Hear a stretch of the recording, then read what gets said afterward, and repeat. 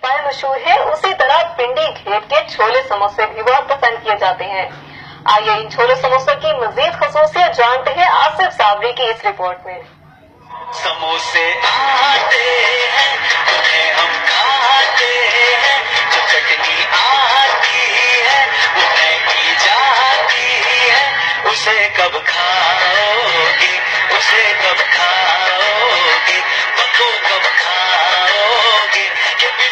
چٹنی سموسا سونا ہے، سموسے آتے ہیں، انہیں ہم کھا سموسے آتے ہیں۔ جس طرح لاہور اپنے کھانے کی وجہ سے مشہور ہے، اسی طرح اپنی گھیٹ میں چھولے بھی اپنی مثال آپ ہیں۔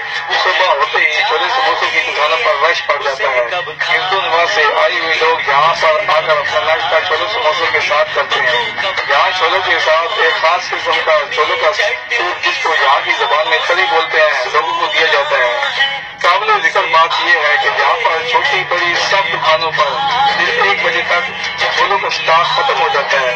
اگر آپ پلی گیٹ آئیں تو یہاں کی سوگات سے ضرور مستفید ہوں اور یہاں کے چھولے سموسے ضرور